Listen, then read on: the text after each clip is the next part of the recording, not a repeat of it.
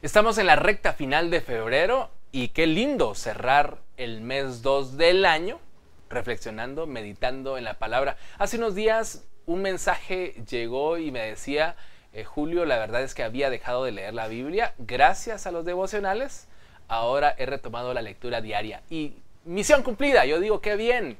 Más que querer que te vuelvas fan de los videos, mi intención es que te vuelvas fan y devoto de la palabra del Señor. Así que Bienvenidos todos aquellos que tienen deseo de conocer más del Señor y que a través de los devocionales encuentran un pequeño pretexto para conocerlo mejor a Él. Soy Julio Calo, este es Diario de un Adorador.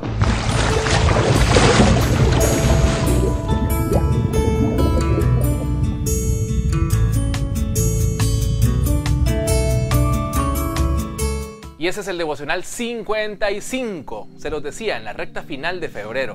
Hoy reflexionamos en lo que nos dice Éxodo capítulo 3, verso 10. Ahora pues, ven y te enviaré a Faraón para que saques a mi pueblo. ¿A dónde nos está enviando Dios? Puede que hoy no lo sepamos o no estemos caminando hacia ese destino. Algunos otros piensan que el Señor no tiene nada con ellos porque no los usa como usa a otros. Convenzámonos. Dios nos ha llamado con una misión importante. ¿Cuál?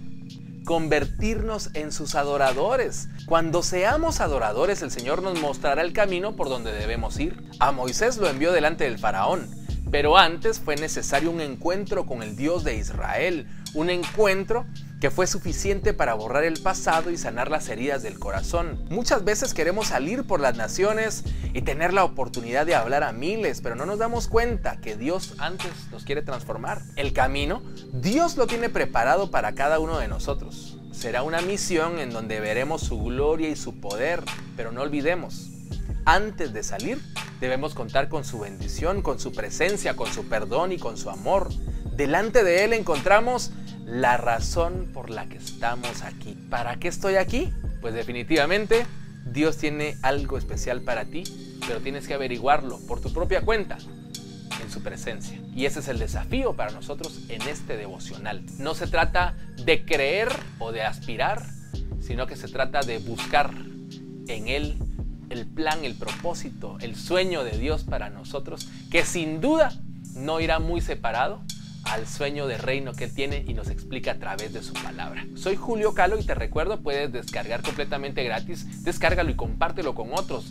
Esta bendición, este libro que puede servirles a otros a estar más cerca del Señor y sobre todo que está fundamentado en la Biblia. Quiero invitarte para que vayas a mis redes sociales. Sabes de que tengo un número de WhatsApp y me puedes escribir desde cualquier lugar del mundo. A través de ese WhatsApp enviamos contenido personalizado, así que te invito, busca mis redes sociales, me encuentras como soy Julio Calo, acá abajo está, y puedes eh, pues también unirte a este grupo de WhatsApp para recibir contenido todos los días y sin importar en qué lugar del mundo te encuentras. Soy Julio Calo, nos vemos mañana.